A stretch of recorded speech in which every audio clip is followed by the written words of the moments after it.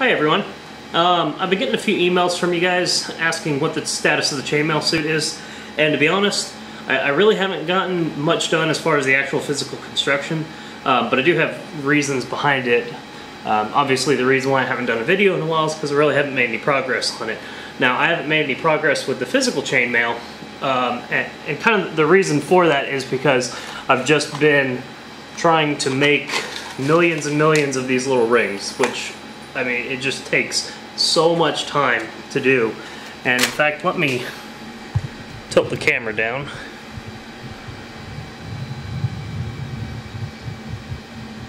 And I'll show you exactly what I'm talking about. So this is what I have right now.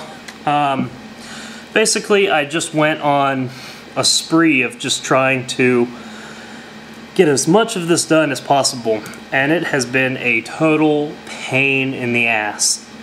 I'm not going to say it's not worth it to to do this. Um, it's definitely been a very interesting experience. Um, I think just the key to making one of these is you really just have to take it in parts. You know, don't work too much on one thing. Always change it up a little bit. So do a little bit of, you know, making these coils, do a little bit of making rings, and do a little bit of actually building. Uh, obviously, the most rewarding thing you can do is, is when you're actually putting the chainmail together because you start to see progress. Uh, and one of the, the best things that I found out that you can do is build flat sections of the suit that don't require, you know, that aren't very complex. Like, don't work on a hand and then immediately work on the other hand or work on you know the foot or, or something that that's a little more complex. Um, if you start to get bored or you start to get frustrated, uh, work on like the chest or, or work on a leg or you know something where you can just make a gigantic sheet um, because it's amazing how quickly you power through that stuff. Um, so basically what I've got here is this was this is all I have left of the material, which if that gives you any idea of how much uh, work I've actually been doing, it's actually quite a lot. Because this used to be 100 feet of steel wire and so I was able to completely go through the entire spool. Um, coil you know obviously a lot of these uh, I've already cut down. This is what's left of about you know, a stack about this high and twice as long of all these uh, coils. And, you know, my goal, like I said, don't get too focused on one thing because my hands are killing me from using these cutters to, to chop these down.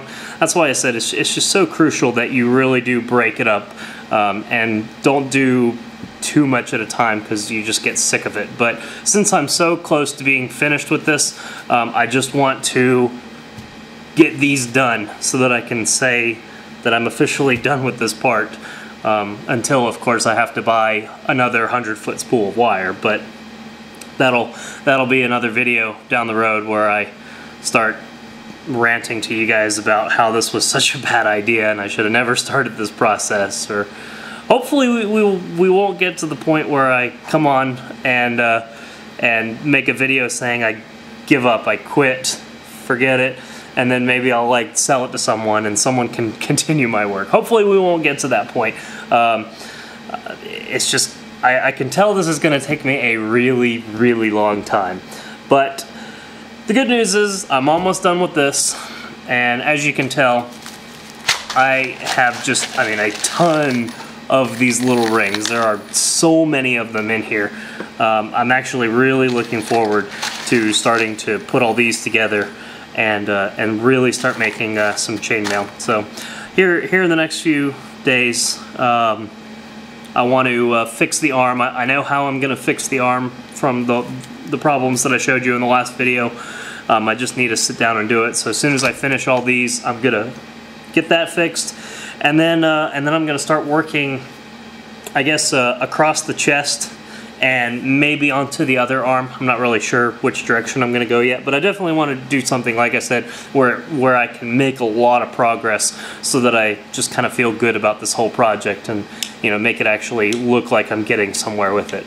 So that's pretty much it for right now. Um, I guess uh, I'll make another video as soon as I get done with this and get the arm fixed. So I'll show you what I did on the the arm to actually uh, kind of expand it out. That way uh, you can get an idea, and uh, we'll just go from there. So thanks for uh, thanks for staying uh, staying tuned, guys. And if you guys have any other questions, you know you can always reach me here on this page, or for those of you that do have my direct email, feel free to contact me direct or um, some of you have contacted me through the Tesla list and, and that's fine too.